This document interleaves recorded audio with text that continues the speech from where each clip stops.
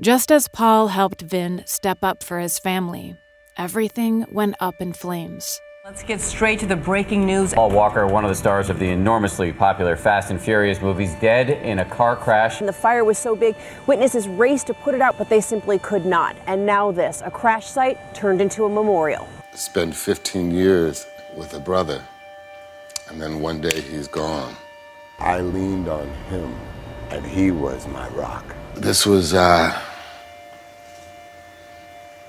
unlike anything we could have imagined. They don't teach you how to mourn someone and simultaneously pretend they're in a scene with you. It was the hardest thing I ever had to do. I remember thinking that there has to be a way out of it. But Vin was about to become a dad again. Sometimes when, when you lose somebody, you're hypersensitive to all the gifts that they've given you.